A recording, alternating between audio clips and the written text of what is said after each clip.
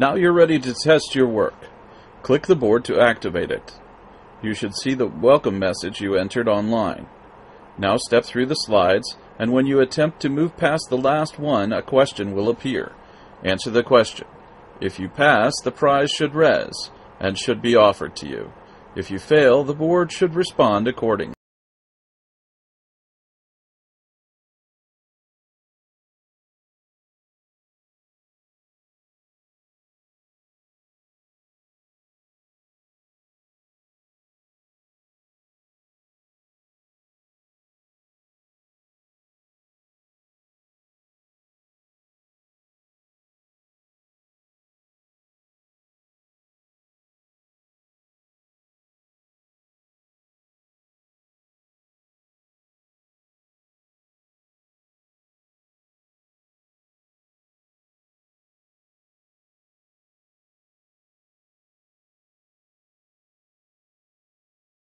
The fifth component of the game kit is a prize.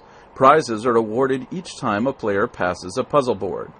You can make any virtual object into a prize. Here's how. A prize needs to be treated a little differently because it has a script inside it that automatically deletes the prize shortly after it's resed in world. In the Game Kit folder in your inventory, find Component 5, the prize sample. Right click and wear the prize. It's attached to your heads-up display, so it will appear stuck to your camera. Right-click the prize and select Edit from the context menu. Copy the two scripts over into your inventory as with other objects. Right-click the prize again and choose Detach. Next, find or make an object that you want to use as a prize.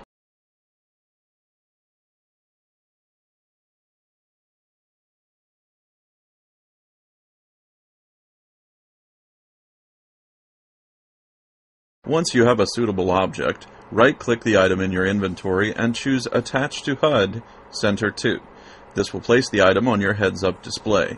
Right-click the object and choose Edit, then copy the Res and delete script and spin script from your inventory into the object's Content tab. You can double-click the Res and delete script to change the message the item says when it appears. Right-click on the item and choose Detach to send it back to your inventory. Reselect the puzzle board and go back to the Contents tab. In the Contents tab of the puzzle board, find and delete the original prize item.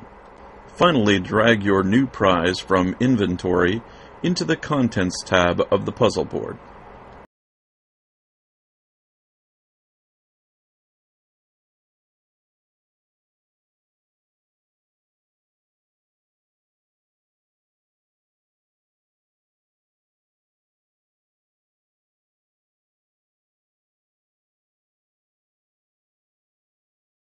While you need full permissions on the prize, the next owner does not have to have any.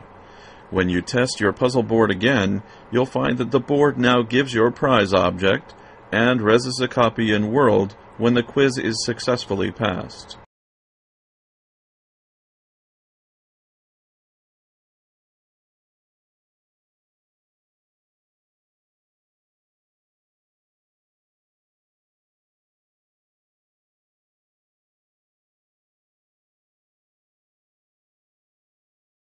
The final component of the game kit is a final score reporter. This object reports the final score and tells them if they've won the game.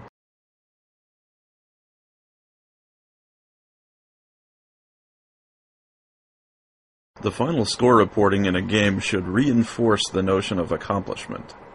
Here I've added some particle effects from the particle laboratory and put the prizes on display. I removed the res and delete scripts. In this case, the rock is the score reporter.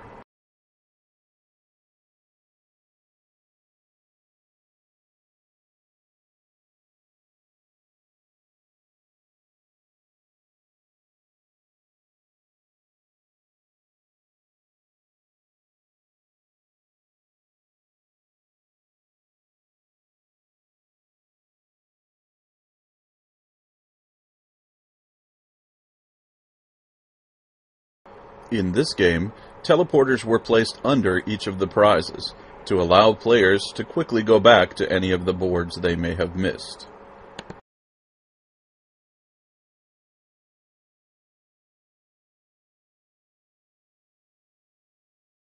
You can make any virtual object into a final score reporter. Here's how.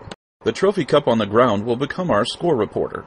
First, open the Game Kit folder in your inventory and locate item 6, the final score reporter sample. Res the object and right-click to edit. Open the Contents tab of the sample reporter and copy the script into your inventory using drag and drop.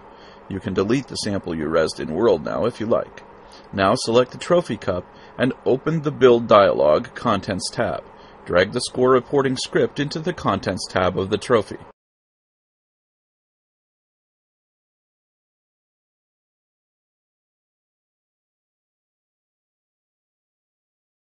The trophy will now act as a final score reporter.